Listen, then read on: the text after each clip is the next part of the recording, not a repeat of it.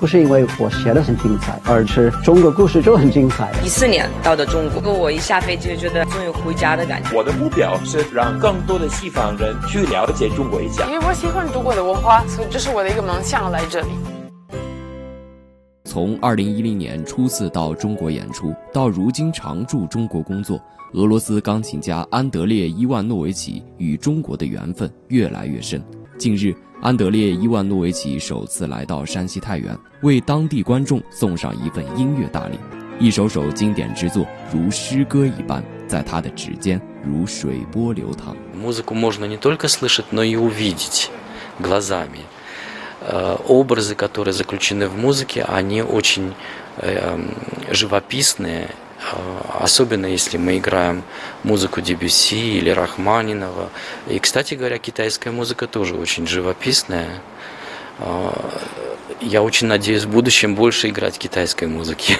安德烈伊万诺维奇自幼喜欢音乐，六岁起开始学习钢琴。其曾祖父杨伊万诺维奇正是世界着名圆舞曲《多瑙河之波》的作者。 二零一五年起，他在哈尔滨音乐学院和上海音乐学院担任外籍教授，并时常往返于两地之间。Многие студенты, которых я готовил для учебы в России, уехали в Россию, а я остался в Китае.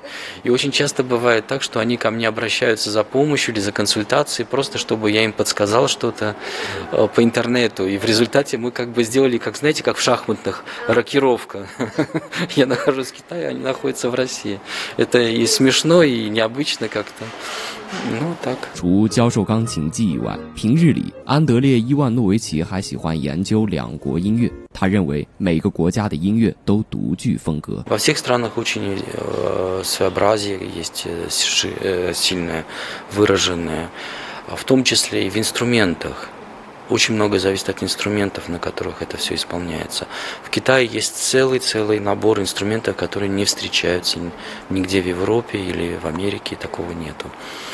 А еще я был очень ну, не удивлен, а как бы восторжен по поводу звучания китайских народных оркестров. Это очень высокая культура. То есть, например, в России у нас тоже есть национальный оркестр имени Андреева. Это где было на балалайках, на домрах играют и так далее. Но китайский оркестр, я бы сказал, разнообразие инструментов даже больше.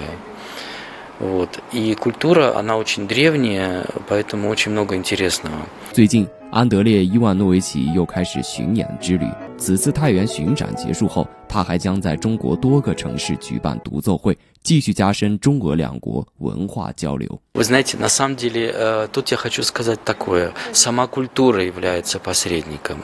Вот если культура, она как губка, она впитывает все самое лучшее в каждом народе. Плохое она не впитывает, она просто не, не сохраняет это. А вот хорошее всегда впитывается. И все люди, на самом деле, кто что-то делает в области культуры, они все являются посредниками. Я считаю так, что человек, который любит свою культуру, он всегда встанет на позицию человека, который с другой культурой приходит к нему.